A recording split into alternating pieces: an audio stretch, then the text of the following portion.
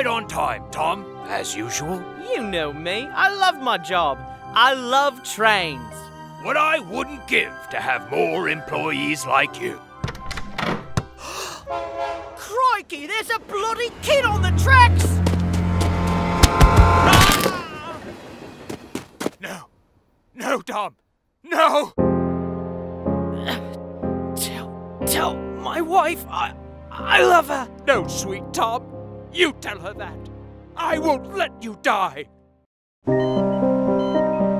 We can't save him. There is no cunt in my station. I'm sorry. You must let him go. Bollocks!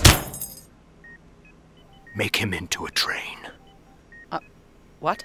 Make him a train. Uh, Put his face on a train. I, I'm sorry. I really don't understand what you're asking me. Keep him alive. Take his face off. Make it bigger.